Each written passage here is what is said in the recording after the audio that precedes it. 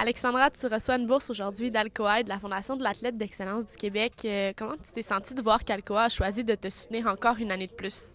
Ben, ça montre que genre vous nous suivez puis vous comme vous voulez nous supporter davantage puis comme à qu'on continue genre à performer puis à comme pas arrêter puis de comme conquérir nos rêves puis de pas arrêter genre. Parlant de rêve, qu'est-ce qui te qu'est-ce qui a fait que tu t'es démarqué dans la dernière saison?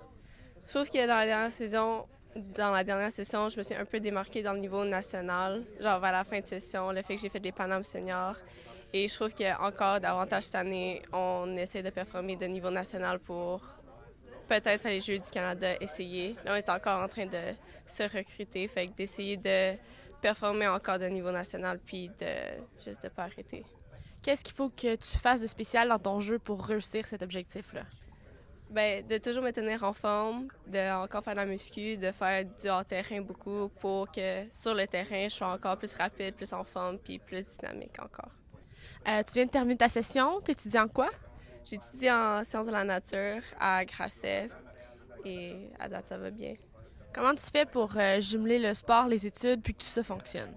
Il faut vraiment que tu aies un programme très spécifique. De, il faut que tu sois très organisé, de savoir quand étudier, quand t'entraîner, de pouvoir jumeler les deux, de pas de pas laisser un tomber puis d'augmenter l'autre, de toujours avoir une bonne balance entre les deux.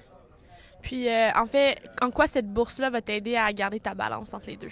Ça va beaucoup m'aider à me pratiquer davantage, à me donner du temps à faire des compétitions, à voyager encore plus, de faire des camps d'entraînement et de pouvoir bien, genre, me, de rester plus confortable en moi, de pas comme être stressée puis de comme juste me laisser plus libre un peu.